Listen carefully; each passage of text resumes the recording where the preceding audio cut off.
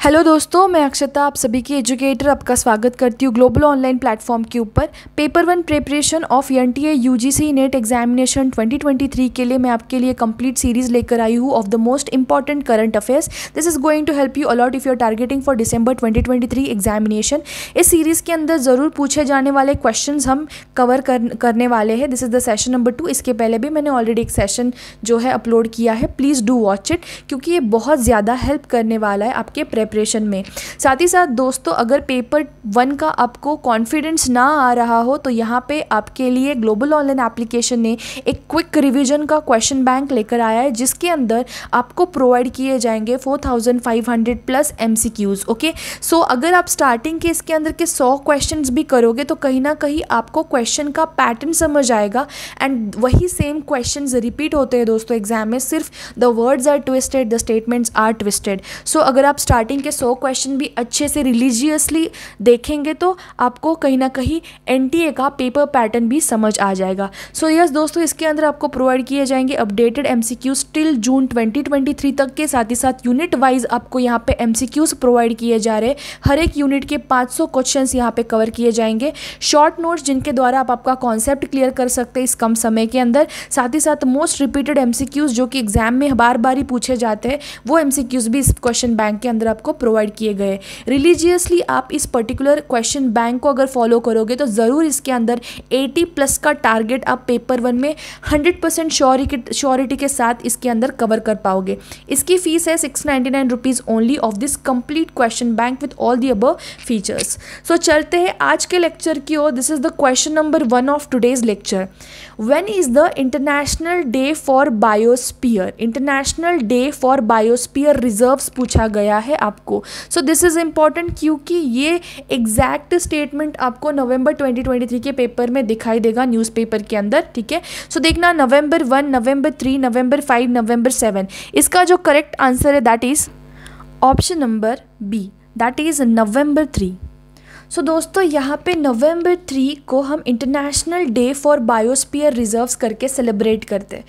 Basically biosphere reserves होता क्या है? इसका थोड़ा सा नॉलेज आपको चाहिए। बायोस्पियर रिजर्व्स मतलब ऐसे एरियाज़ रहते हैं जहाँ पे हम प्लांट्स एंड एनिमल्स इन दोनों का प्रोटेक्शन करते हैं, जो कि मोस्टली एंडेंजर्ड स्पेसीज रहते हैं, जो ख़त्म होने को आ रहे हैं यूनिवर्स में हमारे, ठीक है? साथ ही साथ ऐसे कुछ प्लांट्स है अलग अलग स्पीसीज़ जो खतरे में है, शायद वो अगले कुछ सालों में ख़त्म हो जाएँगे, उनकी लाइफ स्पैन जो है उनका पूरा जेनरिक जो है, वो ख़त्म हो जाएगा। तो उसके लिए यहाँ पे कुछ ऐसे एरियाज़ बनाए हैं, उनको बोला जाता है protected areas so in protected areas को ही बोला जाता है biosphere reserves in biosphere reserves में हम एनिमल्स एंड प्लांट्स को कंजर्व करते हैं या फिर प्रोटेक्ट करते हैं। साथ ही साथ ये प्रोटेक्टेड एरियाज़ या फिर बायोस्पियर रिजर्व्स ह्यूमन बींग के लिए भी इंपॉर्टेंट है, क्योंकि यहाँ से उनके कुछ लाइवलीहुड एक्टिविटीज़ भी ह्यूमन बींग्स कैरी आउट कर सकते हैं। साथ ही साथ दोस्तों, अगर हम देखेंगे पूरे हमारे कंट्रीज़ के अंदर टोटल 134 कंट्रीज़ के अंदर जो है टोटल बायोस्पियर रिज़र्व जो है that is equal to 738 so total 134 countries के अंदर 738 बायोस्पियर रिजर्व्स है. एंड साथ ही साथ अगर इंडिया का हम काउंट देखेंगे तो इंडिया के अंदर आपको 18 बायोस्पियर रिजर्व्स मिल जाएँगे, ठीक है? So this is what about the biosphere reserves और जो इंटरनेशनल डे हम सेलिब्रेट कर रहे हैं बेसिकली 2022 के अंदर यूनेस्को ने बोला था कि अब से नवंबर थ्री को हम इंटरनेशनल बायोस्पियर डे रिजर्व्स जो है सेलिब्रेट करेंगे वर्ल्ड वाइड क्योंकि ये बहुत ही ज़्यादा इंपॉर्टेंट है हमारे अपकमिंग जनरेशन को। पता होना चाहिए कि ये पर्टिकुलर स्पीसीज़ इंडेंजर्ड है, इनको प्रोटेक्टेड एरियाज़ में रखना इज़ इंपॉर्टेंट तो ये चीज़ें कैरी आउट करने के लिए, उसका अवेयरनेस रखने के लिए हम ये इंटरनेशनली या फिर वर्ल्ड वाइड सेलिब्रेट करना स्टार्ट कर चुके हैं from the year 2022 so yes November third को हम सेलिब्रेट करते हैं international day for biosphere reserves you know what is biosphere reserves जहाँ पे हम प्लांट्स एंड एनिमल्स को प्रोटेक्ट करते हैं या फिर कंजर्व करते हैं। साथ ही साथ हमको ये भी आंकड़ा यहाँ पे ध्यान में रखना है 134 कंट्रीज़ में 738 बायोस्पियर रिजर्व्स है। तो इंडिया में यहाँ पे 18 नोटिफाइड बायोस्पियर रिजर्व्स है इंडिया का, ठीक है? सो ये दोनों भी चीज़ें यहाँ पे इंपॉर्टेंट होगी। चलते हैं नेक्स्ट क्वेश्चन की और which state release the draft state energy efficiency action plan so option number A is Kerala option B is Goa goa option c is west bengal and option number d is assam. इस particular question का answer है that is option number A Kerala so state energy efficiency action plan का draft किसने release किया? कौन से state ने release किया है? केरला ने रिलीज़ किया है. तो exactly state energy efficiency action plan है क्या? इस प्लान के द्वारा हम ऐसा एक प्रडिक्ट कर रहे हैं या फिर एक ऐसा सजेशन दे रहे हैं हर एक स्टेट के लिए कि हर एक स्टेट के अंदर वो पोटेंशियल है कि वो सिग्निफिकेंट एनर्जी सेव कर pi by year twenty thirty उनके अंदर सभी स्टेट्स के अंदर ये पर्टिकुलर पोटेंशियल है ताकि ये पर्टिकुलर जो हमारा एम है, वो अचीव कर पाए। क्या है हमारा aim significant significant energy saving significant energy save करना एनर्जी सेव करना बाय 2030 बाय ईयर 2030 ये हर एक स्टेट के अंदर पोटेंशियल है या फिर वो एबिलिटी है कि वो ये जो हमारा एम है वो अचीव कर पाए, ठीक है? सो ये पर्टिकुलर ड्राफ्ट के द्वारा हम ये यहाँ पे हमारे जनरेशन को बता रहे या फिर स्टेट्स को बता रहे कि वो ये पर्टिकुलर एम को फुलफ़िल करने के लिए अलग अलग चीज़ें करें, जैसे कि इलेक्ट्रिक व्हीकल्स का यूज़ करें। ओके इलेक्ट्रिक व्हीकल्स का यूज़ हो गया या फिर ग्रीन बिल्डिंग्स को प्रमोट करना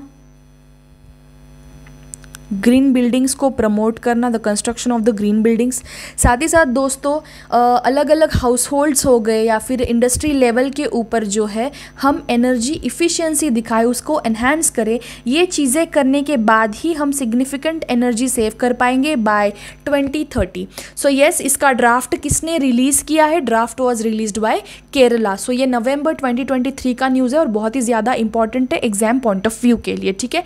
चलते हैं नेक्स्ट क्वेश्चन की ओर.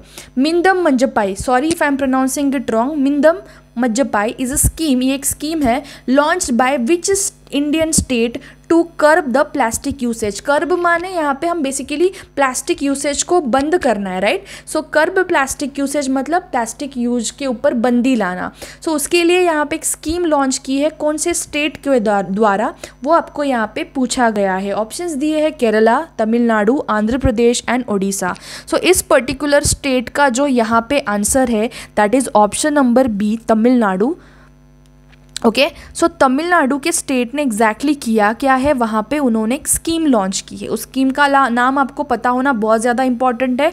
मिंदम मंजपाई भले आपको प्रोनाउंस करना ना आ रहा हो, ठीक है, मेरे जैसा बट आपको उसके बारे में आइडिया होना बहुत ही ज़्यादा इंपॉर्टेंट है। सो so बेसिकली इन्होंने क्या किया है? जो प्लास्टिक बैग्स है, उसका यूसेज यहाँ पे स्टॉप हो। ओके यूथ के अंदर ये अच्छा खासा मैसेज स्प्रेड हो that is stop the use of the plastic bags उसके अलावा आप यहाँ पे क्लॉथ बैग का यूसेज स्टार्ट कीजिए। ये मैसेज ये स्कीम के द्वारा ये प्रोवाइड कर रहे हैं। सो so, इस स्कीम के द्वारा उन्होंने क्या किया है कि जो अलग अलग बीचेस है चेन्नई के अंदर एक बीच है उसका नाम उन्होंने बताया भी है एग्जैक्टली exactly न्यूज़पेपर में जैसे कि Basant Nagar beach Besant not Basant. Pronunciation देख लेना प्लीज़ अगर गलत हो रहा हो तो। बसंत नगर बीच जो है यहाँ पे, इस बीच में उन्होंने एक कुछ हम बोल सकते एक मशीन इंस्टॉल की है। एक बैग वेंडिंग मशीन है। मतलब इस मशीन के द्वारा आप अंदर इस मशीन से हम बाहर बैग निकाल सकते हैं और जो कुछ भी हमारे प्लास्टिक बॉटल्स है एंड ऑल इसके अंदर मशीन के अंदर डालकर प्लास्टिक को क्रश कर देंगे। कुछ इस तरीके से उन्होंने वेंडिंग मशीन बनाई है। एंड इस स्कीम के द्वारा वो क्या प्रमोट कर रहे the use of the cloths bag and stoppage of the usage of the plastic bags I hope आपको ये अच्छे से समझ आया होगा। मिंदम मज्जपाई मिंदम मज्जपाई एक स्कीम है। तमिलनाडु ने लॉन्च किया है। इसका मेन मुद्दा क्या है प्लास्टिक यूसेज जो है वो स्टॉप हो जाए। साथ ही साथ क्लॉथ यूसेज क्लॉथ बैग्स जो रहती है, उनका यूसेज यहाँ पे प्रमोट किया जाए। And they have started in various cities like Chennai में उन्होंने स्टार्ट किया कि उन्होंने एक वेंडिंग मशीन रखी है उस बीच के ऊपर, जहाँ पे हम प्लास्टिक जो हमारे बैग्स है या फिर बॉटल्स है, उनको क्रश कर देंगे और उस वेंडिंग मशीन के द्वारा हम वहाँ से एक बैग भी ले सकते हैं। इस तरीके से उन्होंने कुछ यहाँ पे इंस्टॉलमेंट किया है, ठीक है? This is is important current affair again चलते हैं नेक्स्ट की ओर जहाँ पे क्वेश्चन पूछा है A I related and this is again important which country is the host of A I safety summit twenty twenty three option number is USA UK Australia and India इस particular question का correct answer है option number B ठीक है? So so, अभी ए की safety हमें पता है ए आई का यूसेज जितना हमारे लिए बेनिफिशियल रहेगा, उतना ही बहुत ही ज़्यादा you know it's very dangerous तो उसका awareness is very much important उसके फ़ायदे, उसके डिसएडवांटेजेस भी डिस्कस करना बहुत ही ज़्यादा इंपॉर्टेंट था.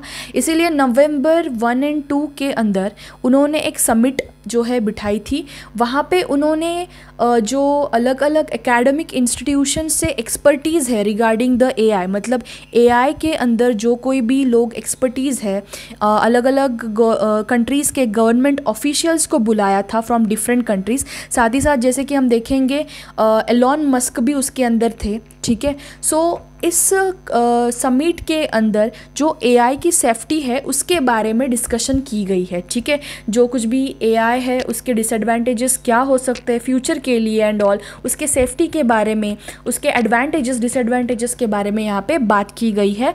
And here you have to just know that कि ए आई सेफ्टी की जो समिट थी नवंबर वन एंड टू के अंदर रखी गई थी यू के कंट्री के अंदर। होस्ट कौन थे यहाँ पे? Host of A I safety summit was in U K okay so ये थोड़ा सा इंपॉर्टेंट हो जाता है एग्ज़ाम पॉइंट ऑफ़ व्यू के लिए। नेक्स्ट क्वेश्चन है which countries associated with B sixty one thirteen nuclear bomb option number A is Russia option number B is Israel option C is USA and China again ये बहुत ही ज़्यादा important है इस particular question का correct answer है option C USA ठीक है? अभी हमें तो हिरोशिमा नागासाकी के बारे में सबको पता है राइट सो so, यहाँ पे देखना दोस्तों जो यूएसए है United States okay United States उन्होंने बेसिकली एक न्यूक्लियर बॉम्ब बनाने का प्लान बनाया है। न्यूक्लियर बॉम्ब ठीक है? जिसका नाम है B sixteen thirteen nuclear bomb basically जो हिरोशिमा नागासाकी के अंदर, जो कि हमारा वर्ल्ड वॉर टू के अंदर जो बॉम्ब फोड़ा गया था बेसिकली ओके सो बहुत ही डेंजरस था, सबको पता ही है। बट उससे भी ज़्यादा, उससे भी ट्वेंटी फोर टाइम्स दुगना स्ट्रेंथ वाला बॉम्ब ये बनाने वाले हैं। कौन?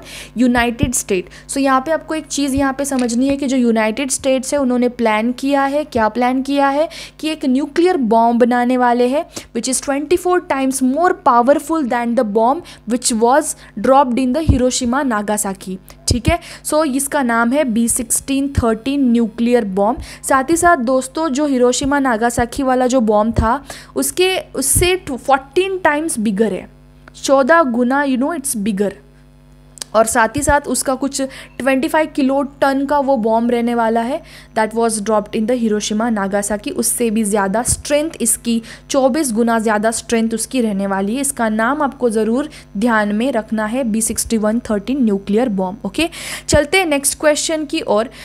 एंड एक चीज़ आपको ध्यान में रखनी है, जो कुछ भी मैं एक्स्ट्रा पॉइंट्स बता रही हूँ नोट इट डाउन बिकॉज़ उसके ऊपर से भी क्वेश्चन आ सकते हैं। ठीक है? सो हर एक चीज़ जो जो मैं आपको यहाँ पे पॉइंट नोट डाउन करके बता रही हूँ, वो भी आपको साथ में आपके खुद के शॉर्ट नोट्स बना के लिखना है, ठीक है? So next question is what is the name of the platform launched by we are talking about the platform launch by the prime minister on the national unity day option number A is Mera Yuva Bharat my Bharat platform option B is PM Yuva platform Meri Mati platform and Kartavya platform so so, इस particular question का answer है option number A Mera Yuva Bharat my Bharat platform तो ये है चीज़ क्या है मेरा Yuva Bharat my Bharat platform इसके बारे में आपको थोड़ा बहुत पता होना चाहिए। जैसे कि एक बेसिकली एक ऑटोनॉमस बॉडी है मेरा युवा भारत ठीक है? जिनके द्वारा गवर्नमेंट ऑफ़ इंडिया जो है हमारी वो डेवलपमेंट चाहती है यूथ का ठीक है? जो हमारी युवा है उनका डेवलपमेंट चाहती है, जो कि इस पर्टिकुलर एज को बिलोंग करते हैं। फिफ्टीन से लेकर ट्वेंटी नाइन तक अगर किसी का एज हो, इस पर्टिकुलर यूथ का एज बार जो है, उन्होंने फिक्स किया है, उसका डेवलपमेंट हो, इसीलिए ये पर्टिकुलर ऑटोनॉमस बॉडी बनाई है। इसके द्वारा बेसिकली माई भारत, इसका मीनिंग ही कहीं ना कहीं ये है कि वो फिज़िकली फिजि डिजिटल वाली चीज़ें लाना चाहते हैं। फिजि डिजिटल मतलब क्या?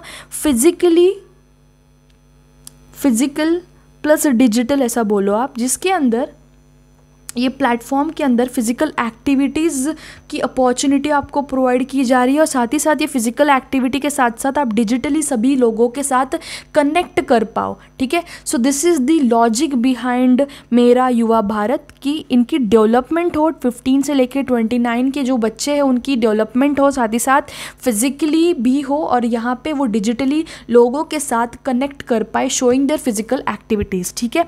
सो ये बेसिकली इसके पीछे का बहुत बहुत ही ज़्यादा important you know this is the role that this particular platform is going to play ये आपको चीज़ें समझना इंपॉर्टेंट है। चलते हैं नेक्स्ट क्वेश्चन की ओर। As per the recent study okay, which planet may have undergone tectonic activities again tectonic activities मैं बताती हूँ क्या होती है? 4.5 billion to 3.5 billion years ago basically हमारे अर्थ के अंदर अलग अलग प्लेट्स होती है जिसको हम बोलते हैं बेसिकली प्लेट्स ओके इन प्लेट्स के मूवमेंट को ही हम बोलते हैं टेक्टोनिक एक्टिविटीज़ भूकंप जिसको बोला जाता है राइट सो so, इस टेक्टोनिक एक्टिविटीज़ के ऊपर यहाँ पे क्वेश्चन पूछा गया है कि कौन से प्लानट में जो है टेक्टोनिक एक्टिविटी शायद हो चुकी है? कब? 4.5 बिलियन से लेके 3.5 बिलियन ईयर्स एगो मतलब यहाँ पे आपको बताना है कौन से प्लानट के अंदर हो चुकी है राइट ऑप्शन ए है वीनस ऑप्शन बी है Mars C Mercury and D Jupiter इस पर्टिकुलर क्वेश्चन का correct answer is option number A बहुत ही इंटरेस्टिंग सी स्टोरी है वीनस के पीछे। हम वीनस को जो है वीनस को बोलते हैं बेसिकली एक, यहाँ पे उसको बोला जाता है अर्थ की बहन बेसिकली अर्थ सिस्टर प्लानट बोला जाता है। अर्थ सिस्टर प्लानट दोनों को बहने कंसिडर किया जाता है वीनस एंड अर्थ को ठीक है? यहाँ पे देखना।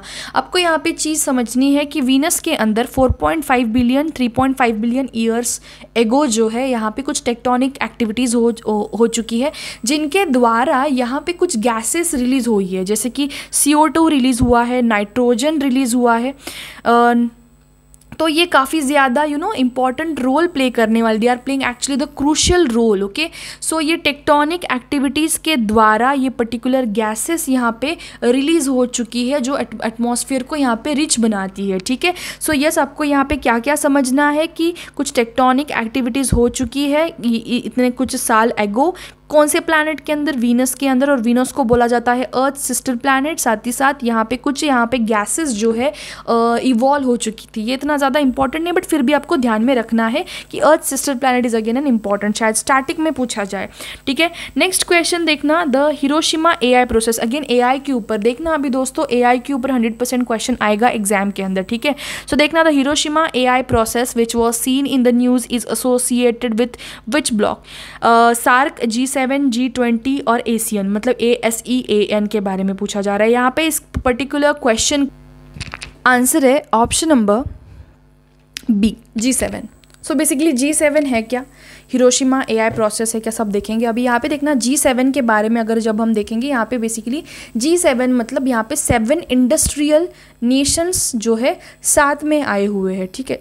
सेवन इंडस्ट्रियल नेशंस जिन्होंने कुछ code of conduct code of conduct मतलब कुछ रूल्स बनाए या फिर कुछ बिहेवियरल चीज़ें सेटअप की है कि उसके हिसाब से ही ये पूरे कंट्रीज़ या फिर ये जी सेवन चलेगा, ठीक है? जिनके द्वारा यहाँ पे हम ए आई के एडवांसमेंट के बारे में बात कर रहे हैं, ठीक है? एआई के एडवांसमेंट के बारे में हम यहाँ पे बात कर रहे हैं। साथ ही साथ दोस्तों, जो एआई है, उसकी यूज़ या फिर इसका पर्टिकुलर एम अगर हम देखेंगे तो इनका एम जो है कि हम सेफ्टी प्रोवाइड करें secure security and trustworthy A use मतलब जो एआई का यूज़ है, वो सेफ्टी हो, वो सिक्योर हो, वो ट्रस्ट वर्दी हो, इनका ये पर्टिकुलर एम है। ठीक है? और इसके लिए वो अलग अलग यहाँ पे गाइडेंस प्रोवाइड कर रहे this is the main motto behind it G seven का, ठीक है? आपको शायद अच्छे से समझ आया होगा। जी सेवन मतलब यहाँ पे सेवन इंडस्ट्रियल नेशंस है, जो कि साथ में आके उन्होंने कोड ऑफ़ कंडक्ट बनाया है। कोड ऑफ़ कंडक्ट मतलब एक सेट ऑफ़ रूल्स जिसके द्वारा वो बोल रहे हैं कि जो एआई है एआई के एडवांसमेंट के बारे में वो बातें करते उसके बारे में वो रिसर्च करते हैं। साथ ही साथ उनका क्या एम है? Safety security and trust use और उसका यूसेज है। है जो एआई का, उसके बारे में यहाँ पे बातें की जाती है, ठीक है? और जो चीज़ें यहाँ पे हार्मफुल है, उसको किक ऑफ़ किया जाता है। And yes this is all about the G seven और उनके काम, ठीक है? सो यहाँ से भी क्वेश्चन आ सकता है। जी सेवन यहाँ पे सेवन इंडस्ट्रियल नेशंस है, ठीक है? और बेसिकली इस प्रोसेस के द्वारा वो safety security and trustworthy use of AI के बारे में बातें करते हैं। नेक्स्ट क्वेश्चन देखेंगे which company obtained first digital escrow regularity fintech authorization from I F S C A ठीक है?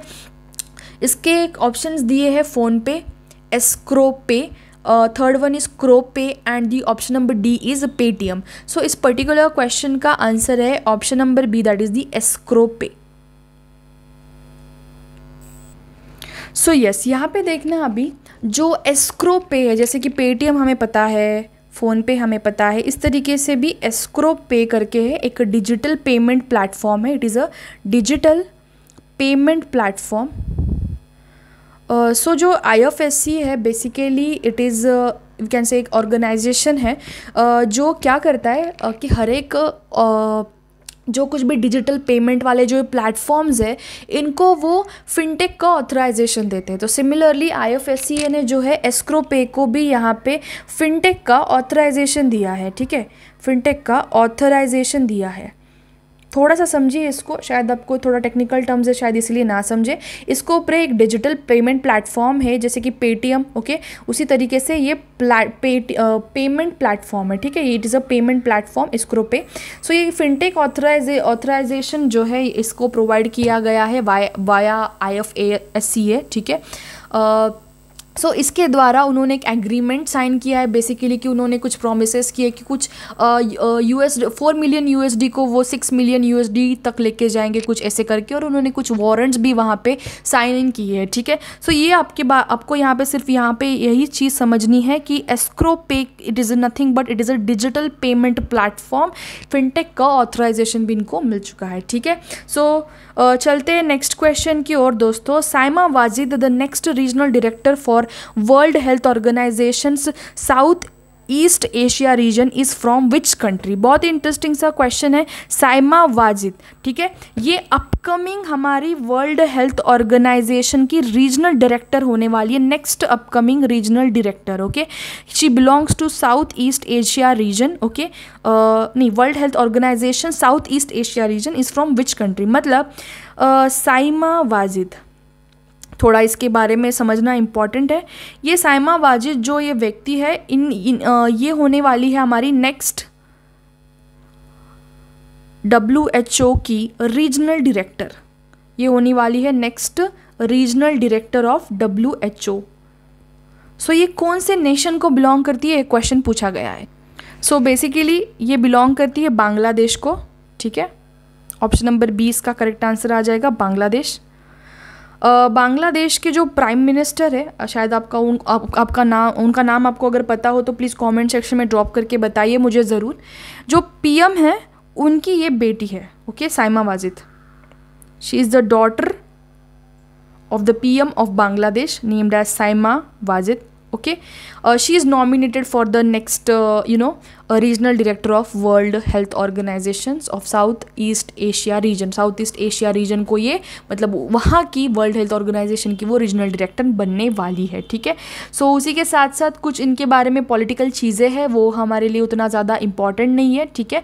बट इतना इंपॉर्टेंट है कि she is going to be the और she has been like we can say कि उनको यहाँ पे हम बोल सकते हैं नॉमिनेट किया गया है कि वो नेक्स्ट रीजनल डायरेक्टर हो जाए, ठीक है? So this is what all about the today's lecture दोस्तों, बहुत ही ज़्यादा इंपॉर्टेंट लेक्चर था। इसके अंदर हमने बहुत ज़्यादा इंपॉर्टेंट करंट अफेयर्स डिस्कस किया अगेन नवंबर वाले पूरे करंट अफेयर्स थे। इससे यही क्लास हम कंटिन्यू करेंगे और पाँच छः लेक्चर बहुत ही ज़्यादा डिटेल में लेंगे हर एक करंट अफेयर जो भी आज आप कर रहे हो, उसके अराउंडिंग क्वेश्चन भी पूछे जा सकते हैं। ध्यान में रखना है आपको, सिर्फ़ रट्टा मारने से करंट अफेयर्स नहीं होंगे, ठीक है? सो मेक श्योर दैट कि आप उससे रिगार्डिंग कुछ और चीज़ें भी नोट डाउन कर रहे हैं, ठीक है? So this was the end of the session I hope आपको वीडियो पसंद आई होगी। अगर आई होगी तो प्लीज़ आप वीडियो को लाइक कीजिए कॉमेंट कीजिए and if you new to the channel please do subscribe it thank you for joining the session have a great day everyone bye